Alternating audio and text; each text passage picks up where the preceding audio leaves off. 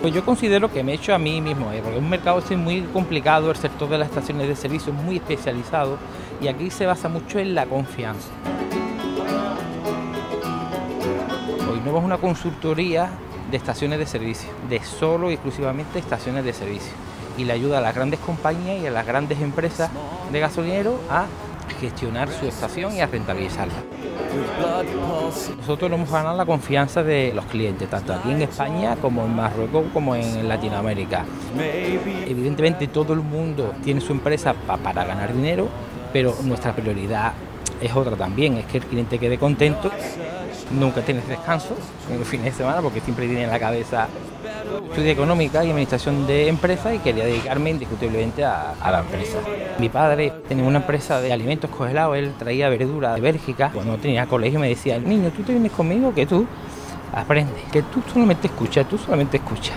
Y claro, esa fue la base que a mí, que a mí, que a mí me dio. Me dio la opción de quedarme con la empresa, yo dije que, que no y tomé ya otro, otro camino. Yo soy un culo, culo inquieto empezó un proyecto, hacerlo bien, terminarlo y antes de que se termine ya estoy pensando en otro. Como viajo tanto, me gusta, soy mucho de casa. Que está en casa, disfruta de los niños con mi tele, mis zapatillas y, poco más.